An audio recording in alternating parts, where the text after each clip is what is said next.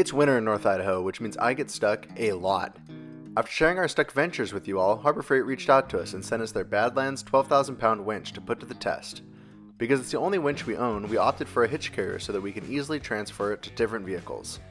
We've set up a lot of winches, and this thing gets major bonus points for coming with the synthetic line already spooled. One feature we really like is the option to use the remote both wired or wireless.